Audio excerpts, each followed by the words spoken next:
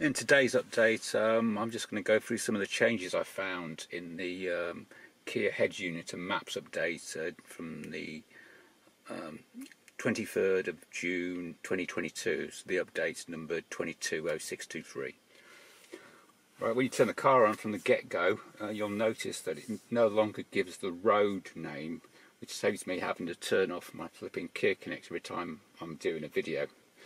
Um, now you've just got the neighbourhood which is better appearing on that front screen. The major part of this update is, is important if you've got Android Auto because now you've got Android Auto full screen. I'll just switch that on. The major change in this update is um, Android Auto full screen. Um, notice if you haven't got a music app or a media app playing you have the clock there um, down there um, I think the map is slightly bigger, although you can't make it completely full screen. Um, you used to be able to in the American version of this update, but that doesn't work anymore. Um, you can change the layout of the screen and put the buttons down the right instead of the left. And to do that, you just got to go into press the white button and then settings, and then scroll down the bottom see more uh, settings on the app. And then you can switch the actual driving wheel side. It's, it's normally set to auto but if I go down the bottom I think it's uh, driver seat location I'll put it on the left. Anyway, put right. You have to restart Android Auto to see it so I've unplugged it. I'll plug it back in.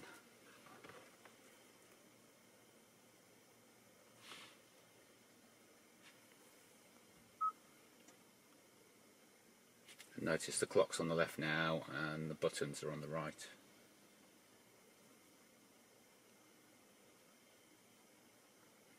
But I prefer, I'm left-handed so I prefer it on the left to be fair. Or you could have it as auto. you suddenly can't automatically change which side the steering wheel is on there. but it does figure it out.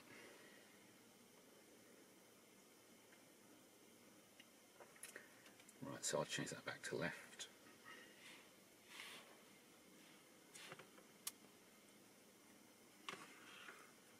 And replug the phone.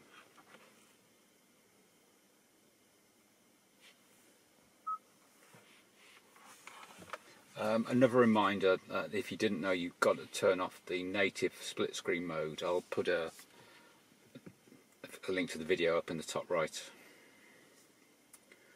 Um, same method to turn it on and off. Um, my other tip for this, if you want the radio on, um, switch to the radio. Windows and doors closed. The Ukrainian President Volodymyr Zelensky has pledged to take back Luhansk. And then if you press and hold the voice button for a couple of seconds, instead of the native uh, voice control, you get the Android Auto. So press that. Cancel. Sorry, I don't understand. And there is the radio. So you just set the radio beforehand and off you go.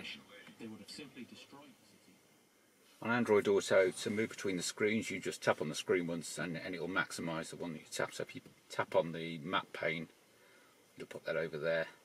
You tap on the media pane, put that over there. Or you can just load more apps